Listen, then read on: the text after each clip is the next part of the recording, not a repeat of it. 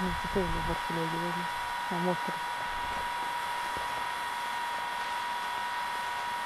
Отлично,